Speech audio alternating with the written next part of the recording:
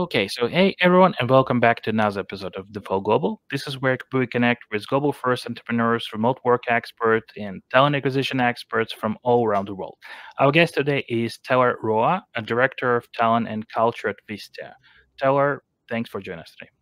Thanks for having me, Vit. Happy to be here. It's great to have you on the show. And before we dive into our main discussion, I guess, could you share with us, uh, with our listeners, a bit about your background. Maybe you can talk, tell us about how this doc in Hawaii got you into recruiting. Yeah. yeah, it's a great story. I, so I actually I went to University of Hawaii to study hospitality, um, and and right after graduating, um, on my favorite beach, a golden retriever puppy ran up to me, and I started talking up uh, with his parents and I offered them a beer and, and they thought, you know, you'd make a great recruiter. They worked at a company called TEKsystems, which is a national company. Folks probably have heard of them. Um, and that's not a career I had thought of, honestly. Like I, I obviously I studied hospitality. I lived in Hawaii. Um, they brought me in for an interview, and I learned that what I loved about hospitality was the people element of it. And actually, recruiting is an even more people centric job in many ways. Uh, so it was a great, great fit. I had a, you know, great uh, training and education, if you will, at TEKsystems and, and tech recruiting. And that kicked this career off uh, for me that I haven't looked back. It's, it's been a really great journey. So I, I moved to Boston a few years into my career where there's a great startup ecosystem and, and made my way in in-house recruiting, building and scaling talent teams. And that's where I've been since. So Cool. Uh, let's talk then about your current company, Wistia, right? A video marketing company that is based in Boston. And what I know about the company that it has a really unique and cool company culture, right? So, can you tell us more about the company itself and like uh, tell us what makes uh, Wistia Wistia's culture so specific? Yeah, Wistia is unique in so many ways. Um, we've actually been around for about 17 years. And so even though we feel like a startup, uh, you know, we've been profitable for six years. We've been around for a long time. We're not a startup by many definitions of it, uh, but we've stayed really lean as a team. Today, we're only about 180 employees. What makes us the most unique is that Chris and Brendan, our co-founders, bought the company back from investors uh, about six or so years ago. Uh, and that means we've been able to be really intentional about how we're growing the business. Um, we're very happy with uh, taking a long term view of our growth. And that means that 20 to 30% growth year over year is, is a success to us. It also means we're able to invest in our team and in our people a lot more than many other companies our size. Um, and lastly, it means we get to be contrarian because we don't have investors like pressuring us to do what everyone else is doing and that's served us really well through the past few years, especially when uh, you know a lot of companies slammed the brakes and did layoffs at the start of the pandemic. We were able to kind of wait and see, and and learned pretty quickly that actually it was a unique opportunity for a video company like us. Um, so it's been, yeah, I think I think there's a lot of advantages that that come with that, and I think it's also been really appealing to candidates that come from that fast growth environment uh, to be able to come in and slow down and, and think a little bit longer term for a change at Wistia. That's uh that's a very interesting story when like the, your, your co-founders in fact bought the company back uh, choosing profitability over rapid growth i guess. That's that's was the main decision behind that. So uh, how has this decision influenced the way wistia builds teams and approaches talent acquisition uh, well, for one, we tend to move a lot slower in growing headcount. Um, you know, it, it's important to us to stay profitable uh, as we grow, and so we're not a company that's spending more than we're making for uh, you know breakout growth. Um, as I mentioned, it also means we can invest a lot more in our people. So we've had, you know, we've offered amazing benefits. Um, we offered 16 weeks of parental leave for all parents. Um, before that began to be to be more common. Um, but but really, you know, I think talent density has been another primary focus for us because of this unique structure, and that's because when you have to stay lean as a team, who is on that team is so much more important. Uh, right. So um, the the other thing is when a company's not doubling in size year over year and your headcount's not growing rapidly, sometimes it can feel like there's less opportunity for growth for certain folks. Um, but I think we've done really well to empower folks for lateral moves, and and we've had a lot of movement internally in some really cool ways um, over the years. So Wistia has a large amount of folks who've been here five to ten years. For a company like ours, it's pretty rare in tech. I think two years is the average tenure.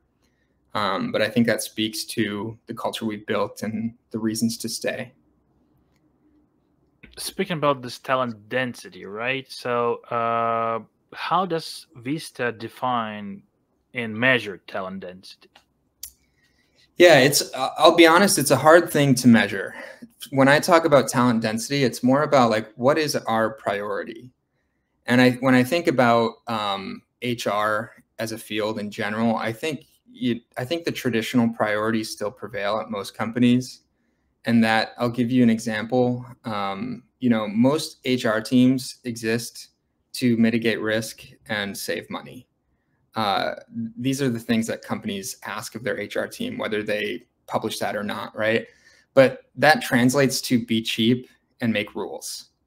Uh, and you can see how these things actually like uh, contradict a pursuit of talent density in a company because you need to be intentional about who you're bringing in. And so when I talk about talent density, it's what is the priority? When talent density is your priority, uh, then you might take your compensation strategy a little bit more seriously and you might be okay with paying more competitively. You might not care as much about time to fill when you're measuring your recruiter success, right? You might care more about who's actually uh, stepping into that role. So uh, that's what it means for me. Um, you know, all of your metrics should really tie into that priority. And so when I'm working with my recruiters, uh, you know, some folks might be surprised coming onto the team that like we're not racing to fill a role. And I actually like to see when my recruiters are pushing back if a hiring manager wants to hire somebody who we think we could do better. Um, and so a recruiter here should be actually talking managers out of making a hire quite often because we can do better often, right? Um, so it's not necessarily a number I can put on a chart for you saying we're this talent dense today, right? But when it's your priority, you you look at performance management differently. You look at team building and hiring differently. Um, it all feeds into that longer term thinking as well. You know, the the strength of our team is like a ball of clay that we're molding over time, and there's no finish line, right? Mm-hmm. Mm-hmm. But uh, we we can be a little more intentional and a little more more patient, but mm-hmm. um, yeah, super focused on the the caliber of the teams that we're building here. Yeah, and uh, one of your philosophies is that the founder is the first recruiter. Yeah, so eh, I, yeah. I, I completely agree with this statement. As a co-founder myself, I believe that my primary job is to find the right people for the company, right? And I know right. the majority of my uh, startup clients, uh, they they include this as the final step. They, they always have this meeting with CEO to assess cultural fit and stuff like that. And yeah. I believe that it is essential for CEO of the companies who are just maybe uh, up to 100 employees to have this this step there. So what yeah. what, what is your what is your vision on this? Uh, how can startup founders uh, who who are already who are already you know juggling tons of tasks can play this direct role in hiring to truly shape their their teams? Totally. Uh, and this is one of the core tenets of, of my approach especially for startups. Uh, you know a company is a group of people at a point in time. And so how successful your company is two years from now depends entirely on on who your team is a year from now. Right. And that's just that just makes sense when we hear that, right? I think it's easy for founders to get caught up and think that this is like an administrative cost center task that uh, that they don't have time for, and lose sight of the fact that the the team that they are building is just as important as when they were bringing the first three people to help them build their idea at the start, right? So it's a great idea, to your point, to have uh, a final conversation uh, at, as long as you can, at least up to 100 people. But um, it, I, I go even further than that. I think that a founder should have a close relationship with their recruiter, and actually, they should bring a seasoned recruiter on sooner than than most founders think. I say that because hiring is a skill that you need to develop and hone, and and everyone is is at a different point in building that skill. And so you may be bringing on super smart engineers, product leaders, um, but you're still going to find variance in how effective they are at hiring and keeping the bar for talent really high, right? So I always say if, if you plan to make 10 hires this year, it's time for you to bring on an in-house recruiter um, who's who's pretty seasoned because they're bringing on this subject matter expertise that's invaluable to your team. If you if you scale like most companies do, and you say it's up to my department heads to keep the bar for talent high and, and focus on hiring, uh, it will be very hard for you to measure success because they're also measuring the success of the teams that they're building. Uh, and you'll end up growing in tumors because some teams will be really good at hiring, some teams will be not so good. There will be a very inconsistent process that doesn't allow you to kind of do postmortem and and you know assess the issues when a hire goes wrong. Whereas if you have a, a, recruiter who's done this before and can build a smart intentional function that's consistent across the business, uh, and also hold your interviewers to a high standard for quality assessments and and you know collecting the right data points, suddenly you have this intelligence into how your team is growing, and the founder can at any point look into that and be a part of it. If they're just taking the last session, then they're a bit of a gatekeeper, which can be helpful, but that also depends a lot on their ability to keep a bar high as well, right? You see some founders that are really good at this. Other founders may be more of like the salesman who gets people excited and gets them across the line, and that's helpful too.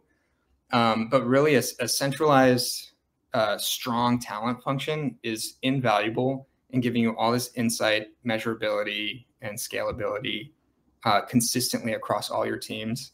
So many people think that a recruiter just here to look at resumes and bring in candidates and they're missing so much value in that approach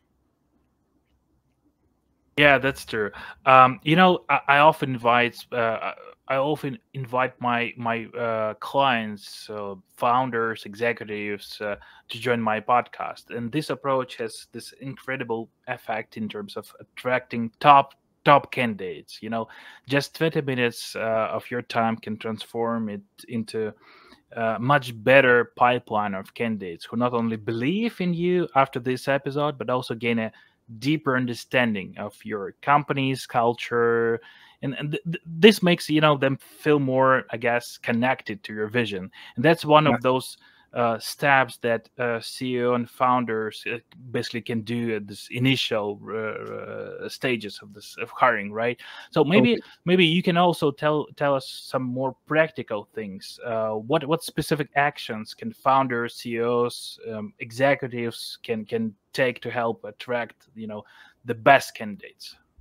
Yeah, I think um, that's that is a great bit of advice to get out there and actually do some messaging, right?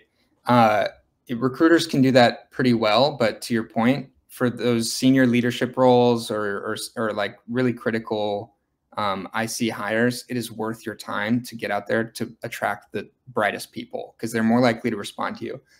Um, I think another great bit of advice is to uh, get out and talk about the culture you're building. I think uh, it's it's easy to forget that you are building something in your culture. You know, it, obviously you're building a product, but in building a company, you need to be intentional about the culture and the teams that you're building. And so the best companies, I think, have founders that almost approach that the same way they approach building a product.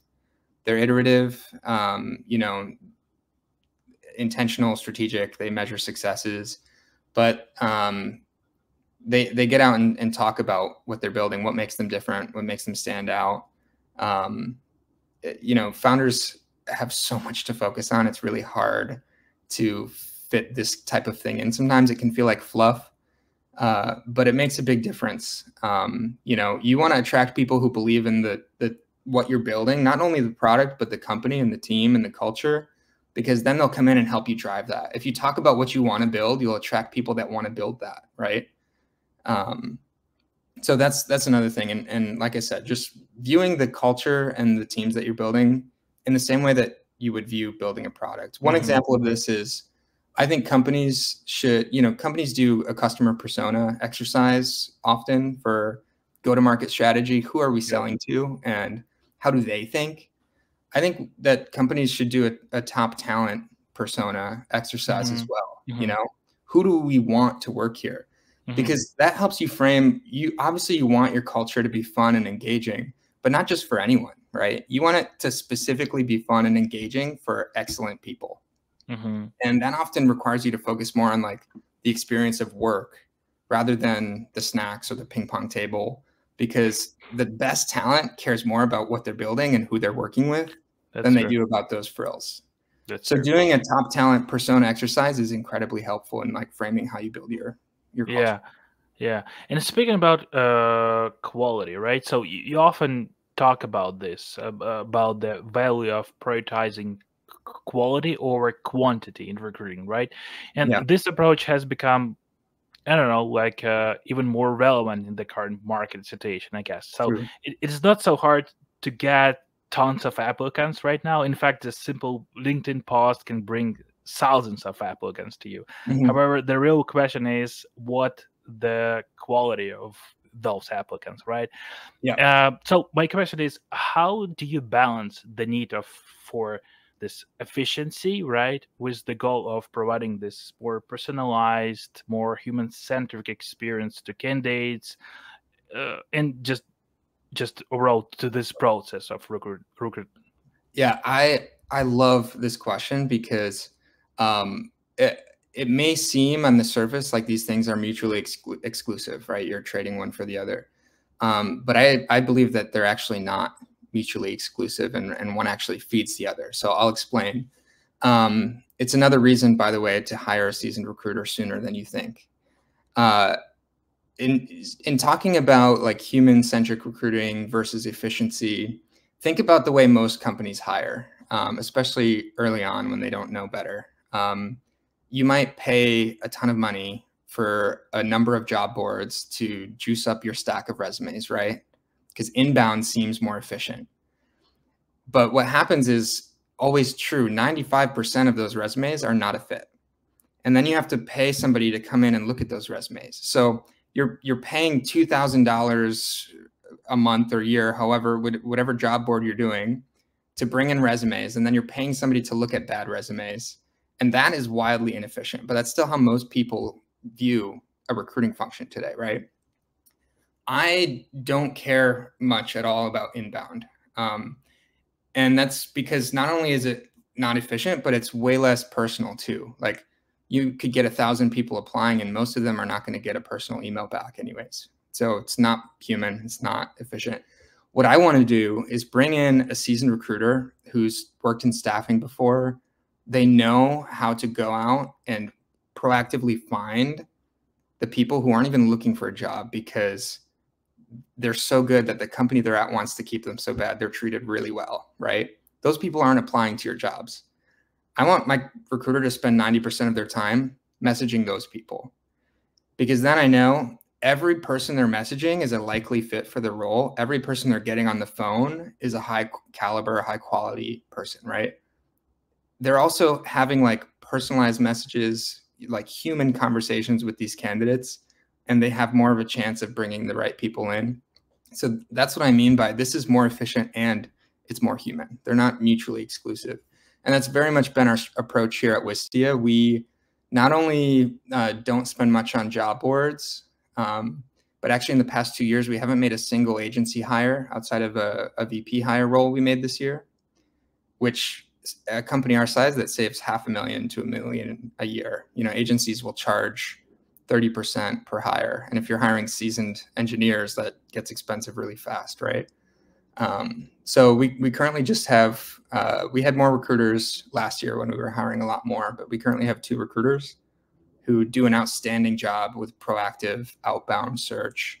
And more than half of the hires that we make are found by my recruiters.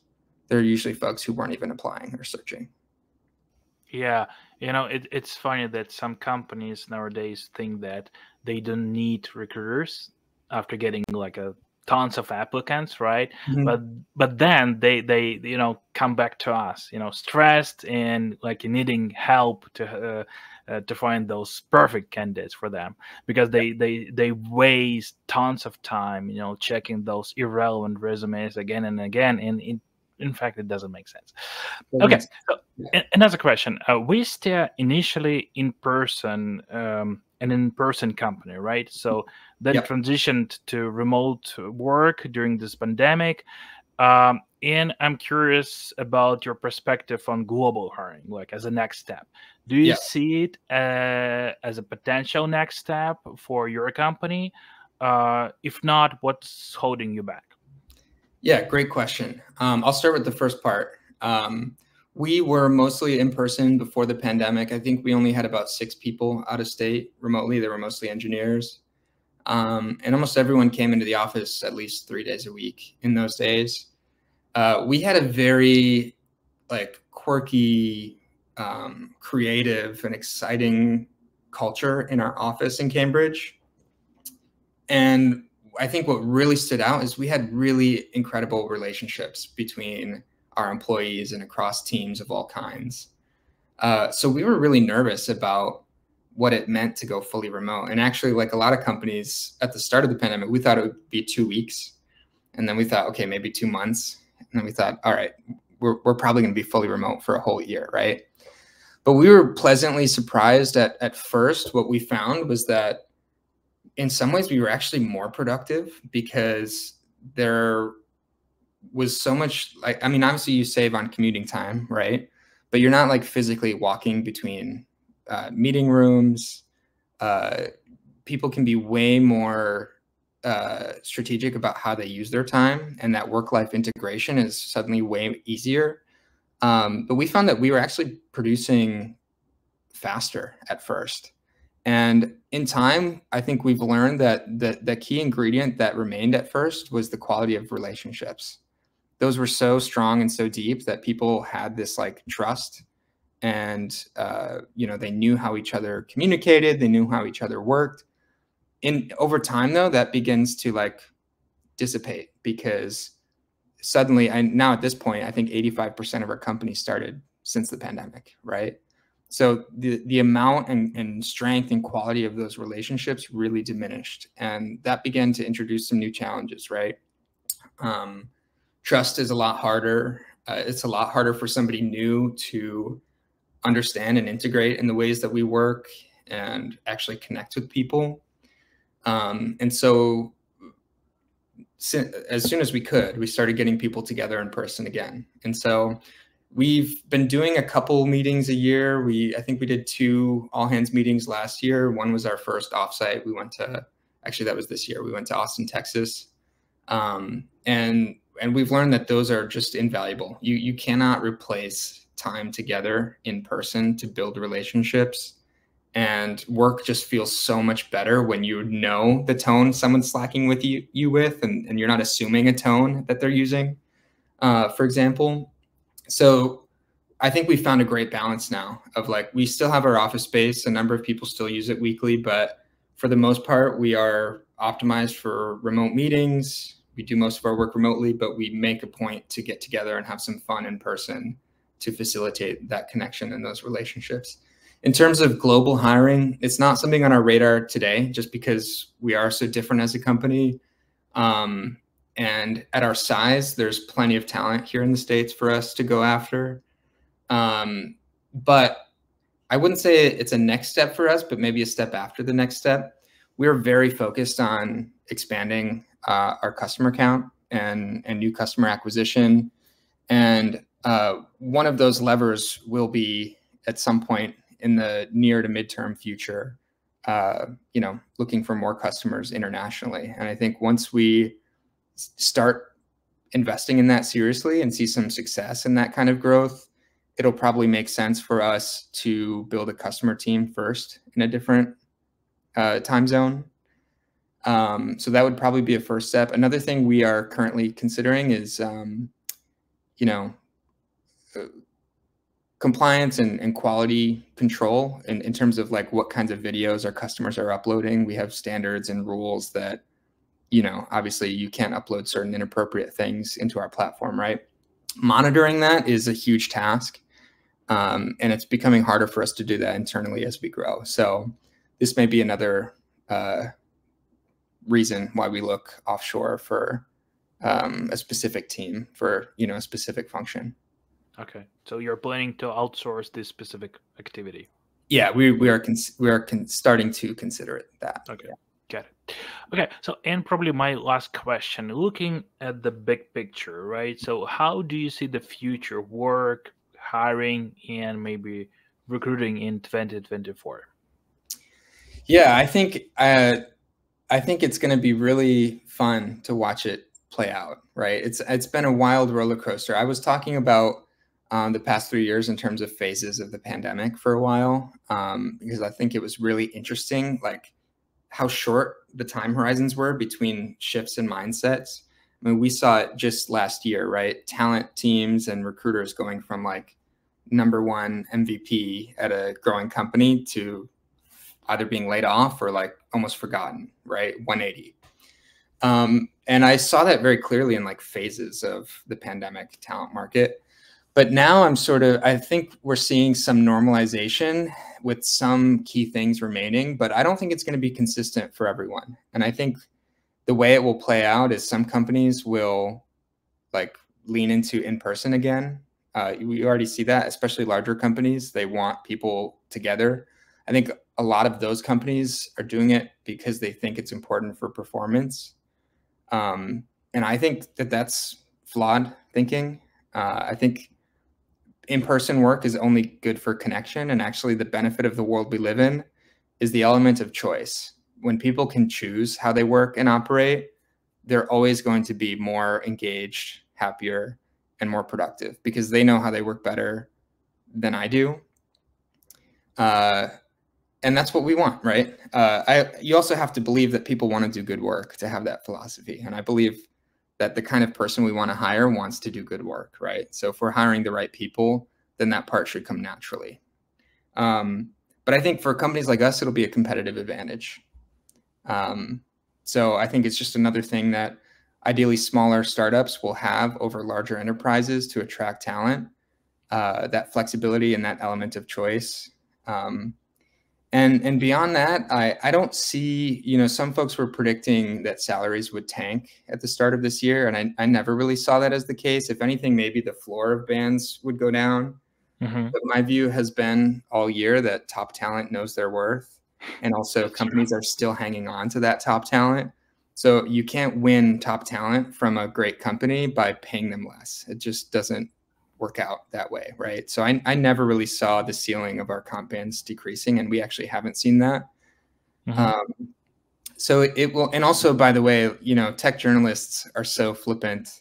You know, week by week they could say opposite things, but at the start of this year, they saw layoffs and they were talking about like the job market flipping, and it never actually did. We still have more openings than candidates at every point this year.